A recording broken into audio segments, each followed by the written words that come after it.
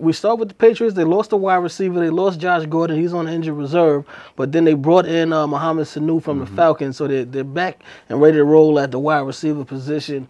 Can the Patriots run the table and go undefeated on the season? Uh, undefeated might be tough, um, though I think they have the talent to do it. I just don't know if they're going to have the mindset to want to do it and run the risk of injury later on in the season because they're going to clinch up this division, I think, pretty early. I think oh, Buffalo's going to start to come back to the pack a little bit, even though they're hanging around right now. Offensively, they're not good enough to maintain this pace they're playing at. Yeah. So I think the Patriots will clinch up the division pretty early, and then we'll see them kind of lock up the, the number one seed overall. And then it'll be a matter of let's make sure that Tom stays healthy. Let's make sure Edelman stays healthy. Let's make sure we don't suffer any big injuries on the defensive side of things. So as far as undefeated, I don't think that happens. I mean, I'm actually a Patriot fan, in case y'all didn't know.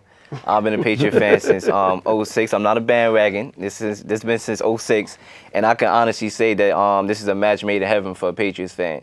Simply because Mohamed Sanu is one of those guys that can um, he's versatile. So he could he could play the intermediate route. He could go the deep route. And he's um, he's actually a good quarterback. You know, his first six passes that he actually threw was completions, and um, he threw a, a, a fi- I believe a 50-yard pass down the field. I mean, the the ball was dropped in the bread basket of all the guarding. I mean, this guy is nice. So you know, I think the Patriots come playoff time, they can have a few bags in the tricks. They already had people seeing they say um, saying they see ghosts. They can see more ghosts come playoff time because they got a guy that can you know make plays when he gets the ball in his hands.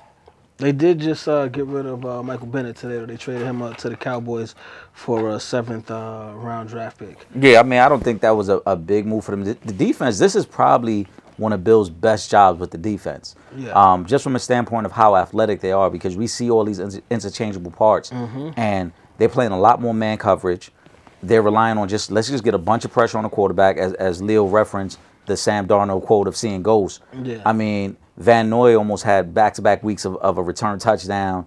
They're all over the place. I saw a crazy stat today, which I didn't even realize until I, I went back and looked at all the numbers. If the Patriots offense had not scored one touchdown through their seven games, they would still be three and three. They would be three, three and one.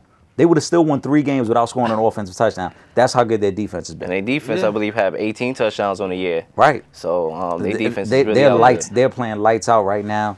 Um, They definitely been holding me down in uh, fantasy Oh, football. absolutely. Yeah. You know, I think, if, like I said, Sanu works for them in a lot of ways because they needed to find another target. Tight end has always been a strength for them. That's pretty weak this year, and especially with the Yeah. injuries. Even though they brought back Ben Watson, they haven't been able to really run the ball. Um, even though Sanu is not a deep threat, he's a possession receiver that can help you because we know Tom likes to just dink and dunk you down the field and just listen. You're gonna give me the little five yard routes. I'll take those five yard routes all the way down the field between him and Edelman. They'll figure it out. I think it's gonna be really good for them. But this defense is the part that to me makes them the favorites to win it all. Yeah, I mean, I, I mean, I don't. As far as going undefeated, I'm I'm not sure if they're going undefeated. Um, I think that the going into Baltimore is going to be a tough game now. The way the secondary, I mean, the secondary was already beastly, but now with the addition of uh, of Marcus uh, Peters, I think that it's it's going to be even tougher to go into Baltimore and get that win. But I do think, I mean, I still kind of think it's a lot for them to win the Super Bowl, man. I'm, I'm sorry, man, because you you're gonna have to go through Foxborough. Absolutely. At, at this point, there's no no doubt about it.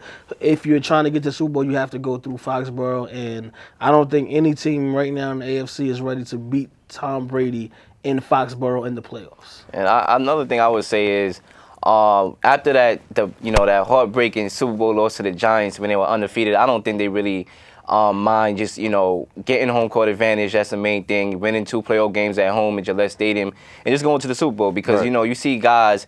You know, they chase being great, like the Warriors when they were 72 win team. You know, they chase being great, and at that time, you risk injury as well because Yeah. guys play longer games, and it's football, especially um, guys are prone to get hurt. So you know, I think they they main thing right now is to win as much games as they can, get home court advantage, and just play two games at home and go to the Super Bowl. Yeah. If we again, if we were talking 06 Patriots and Brady's 32, yeah, you go for the undefeated.